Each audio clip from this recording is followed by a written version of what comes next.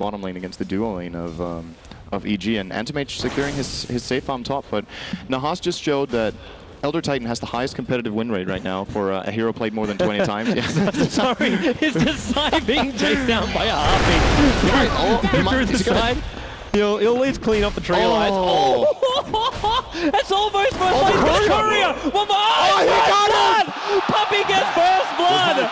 First Arcade used to be like master of harpy gaming.